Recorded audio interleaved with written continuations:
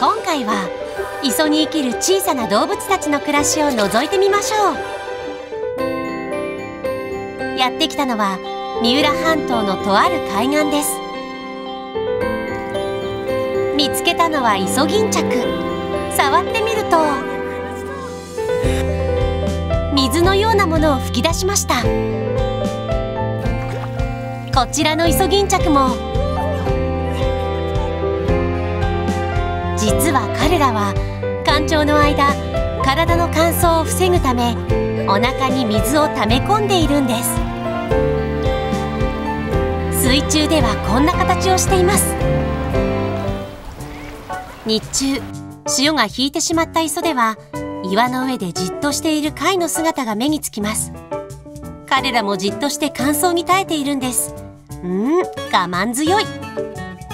でも夜になり潮が満ちてくると磯は活気づきます。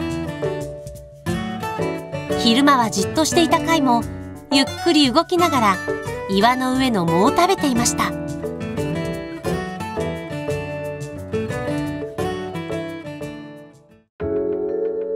磯では激しく打ち寄せる波や潮の満ち引きで体をさらわれてしまうことが少なくありません。そのため磯の動物たちは岩の影や海藻に体を固定したり八つで人手のように岩に吸盤で張り付いて暮らしているんです。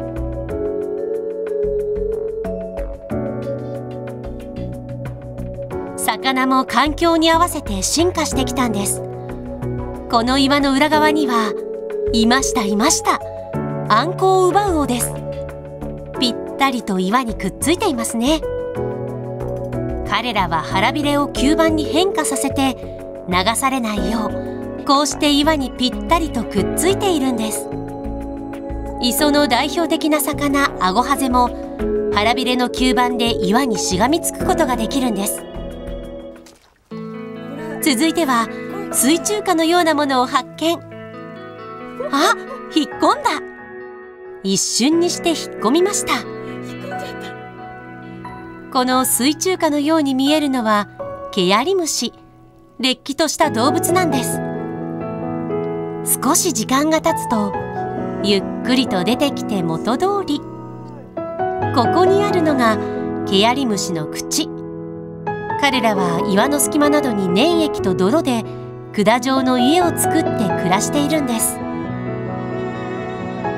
この細管という花びらのようなもので海中のプランクトンを引っ掛けて食べると言われているんです。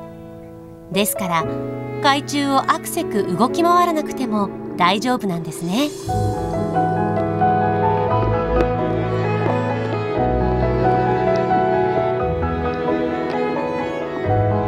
そんな生活を送れるのも磯の海が豊かであるということ。星みたいにきらめいて見えるのは小さなプランクトンや死骸のかけらです。これは体長わずか数ミリのヒドロクラゲ。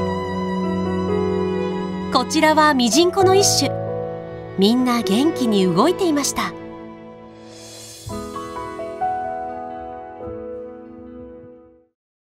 さてこちら波がかかる高さのところに住んでいる松葉貝。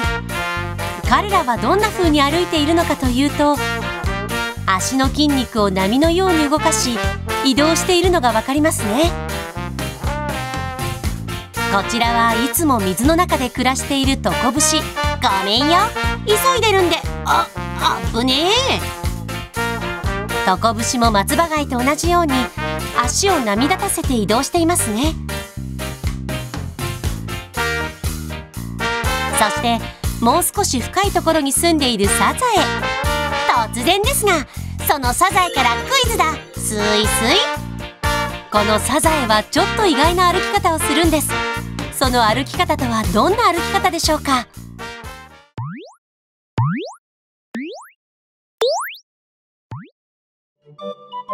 それでは正解です。サザエの歩き方はどんな歩き方かというと一見他の貝と同じに見えますがでもなんだか足全体が一気に前へ出ているような裏側から見てみるとお？足が左右にきっちりと分かれているのがわかりますね。サザエは左右を交互に前後させて歩いているんですね。ということで正解は左右交互に足を出すでした。この他にも磯では海の宝石の異名を取るウミウシを見つけることもできます。ウミウシといっても美しい種類もいればナメクジのようなものもいます。奥が深すぎて全体像がつかめないほど種類が多く大きな魅力となっています。皆さんも磯に探しに行ってみてはいかがですか？新たな発見があるかもしれませんよ。